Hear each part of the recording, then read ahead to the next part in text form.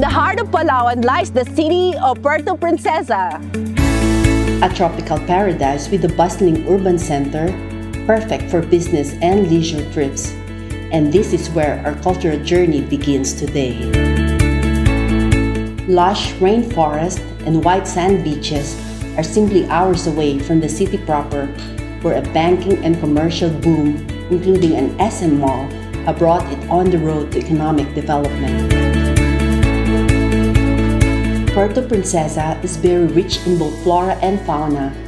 Mangroves can be found mostly in the outskirts of the city, and lush foliage can be seen in its rainforest and mountains. Different species of fishes are abundant in the reefs surrounding the island, while a variety of both local and migratory birds can be seen in some places.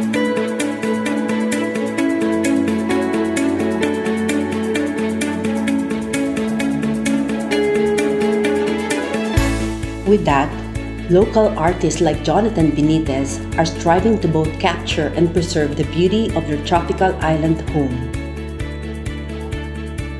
Based in Puerto Princesa, Jonathan is part of an emerging art scene in these western Philippine islands. He learned to use watercolors at the age of 10 and studied the Western masters from books and later art through a correspondence course. While he has had no formal training, his florid style is exquisite with the colors and atmosphere of his surroundings flowing through his work.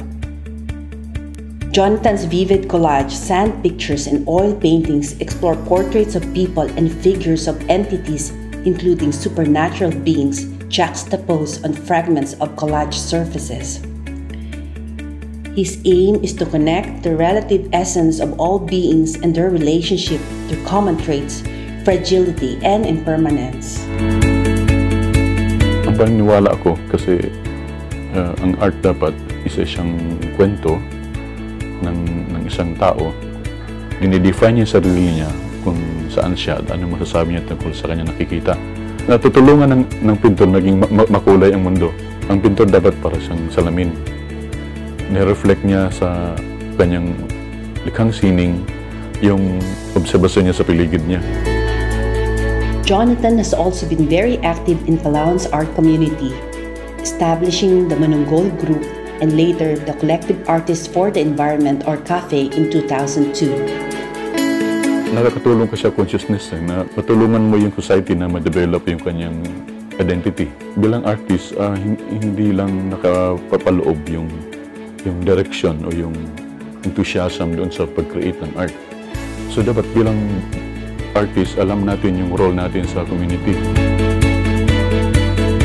With his membership in Art Nations, an international group of artists, he represented the Philippines in the Peace and Art International Exhibition in 2013.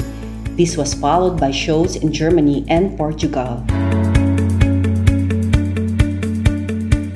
We will meet another young and talented artist from Puerto Princesa when My City, My SM, My Art returns.